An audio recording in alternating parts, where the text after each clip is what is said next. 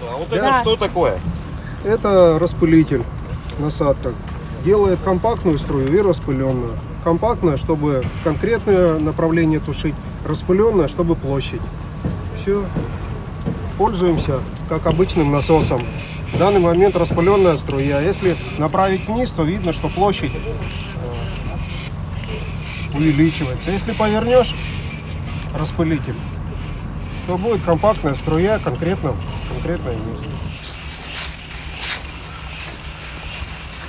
В настоящее время тушение лесных пожаров носит актуальный характер, поскольку компания железно надежный застройщик, да, мы большое внимание э, уделяем сохранности той территории, на которой мы строим, на той территории, которая расположен наш ЖК лес, территории которого будет уникальный парк.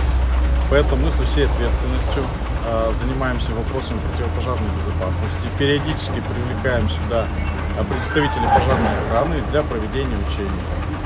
Э, Кстати, недавно у нас да, на территории, возле территории был пожар, который мы оперативно потушили. Наша главная задача сохранить лес, сохранить природу.